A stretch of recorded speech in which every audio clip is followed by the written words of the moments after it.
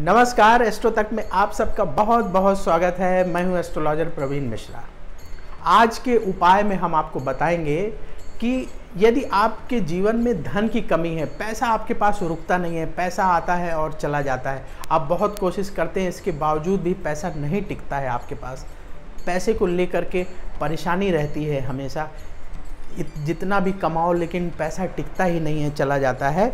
तो आप क्या उपाय करें जिससे कि पैसे की कमी दूर हो जाए? तो देखिए, सावन का महीना चल रहा है। भोलेनाथ की कृपा यदि आप पर हो गई तो पैसे की कमी दूर हो जाएगी। बस भोलेनाथ की कृपा किस तरीके से प्राप्त की जाए कि जो पैसे की कमी है, वो दूर हो जाए और आगे आने वाले समय में कभी आपको पैसों के लिए परेशान ना होना तो जो उपाय हम आपको बताने वाले हैं, इसको आजमा करके देखिए। बहुत सारे लोग ये उपाय कर चुके हैं, वही उपाय हम आपको बताते हैं अपने इस कार्यक्रम में, जो आज का उपाय कार्यक्रम है। तो ये आजमाए हुए उपाय होते हैं। तो इनको बिल्कुल सही तरीके से यदि आप करेंगे तो लोगों को फ़ायदा हुआ है तो आपको भी फ़ायदा होगा।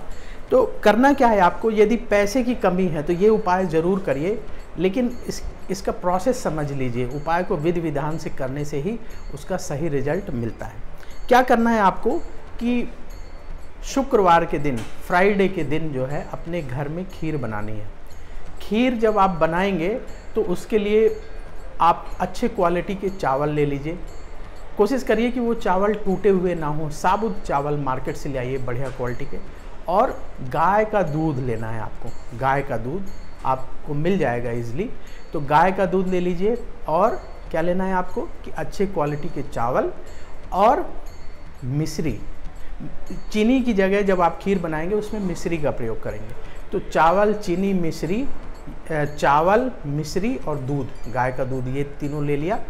और इसके बाद जो है, आप स्नान, ध्यान करके अपने किचन को बढ़िया से साफ़ कर लीजिए।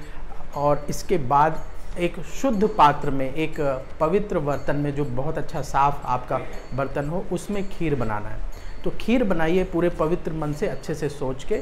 और खीर जब आप बनाएँगे तो ओम नमः शिवाय, ओम नमः शिवाय का जाप करते रहें और इसके बाद जब खीर बन जाए तो उसको ढक करके रख दीजिए, ठंडी हो जाए। फिर ले जा कर के शिव मंदिर में जाइए।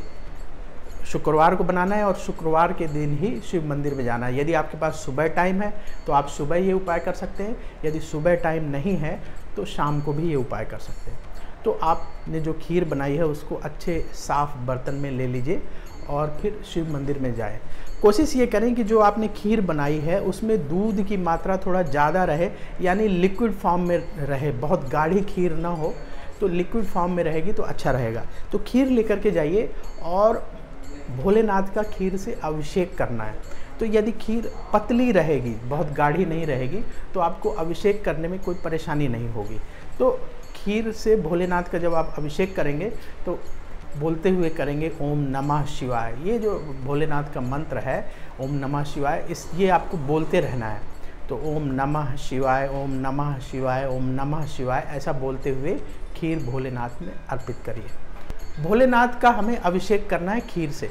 तो खीर आप जब भोलेनाथ में अर्पित करेंगे तो ओम नमः शिवाय, ओम नमः शिवाय बोलेंगे। और इसके बाद क्या करना है कि भोलेनाथ को जो खीर आप अभिषेक के लिए इस्तेमाल करेंगे, वो एक कटोरी से ज़्यादा ना हो।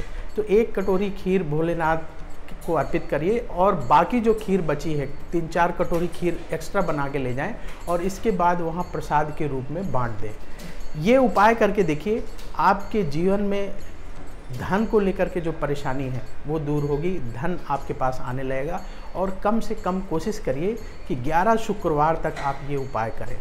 तो सावन से शुरू कर लीजिए, सावन का मौका चल रहा है और ये उपाय आप लगातार करते रहिए हर शुक्रवार को। तो आप देखेंगे, आप महसूस करेंगे कि धीरे धीरे करके धन की कमी जो है आपके जीवन से दूर होने लगी है। धन आपके पास रुकने लगा है, पैसा आने लगा है।